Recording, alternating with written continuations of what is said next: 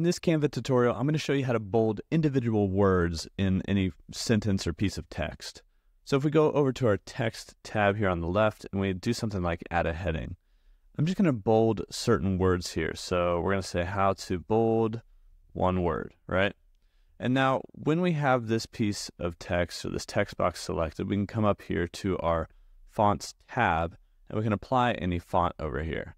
Now, if I apply something that has several different styles to it, so let's drop down the arrow on Gotham. So you see how it has light, regular, bold, and black.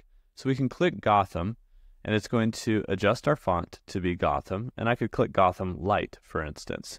So now all the text is Gotham Light. If I want to bold a certain word, like I want to bold the word bold here, I can double click into this and I can highlight whatever text I want. So I could highlight the word bold. Another way to do this, at least on a Mac, maybe it works on Windows too, is just double click the word and it kind of highlights that word.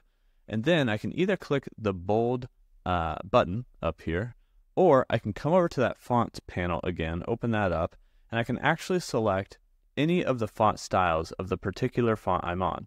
So I could go all the way down here to black, and it will apply that font style to just the word I have highlighted. You cannot change fonts, so I can't make this bold word a totally different font. It'll actually change all of the text in that text box. But if I'm on a single font, I can change the font style. And you can see how it highlights bold, but this is really just on and off. Whereas if you have multiple styles, maybe I just want it to be the bold style, or maybe I want it to be the black style, or maybe I want to do the whole thing uh, reverse. Maybe I want everything to be bold except one word, right? So I could highlight all that and then just make it light instead of bold.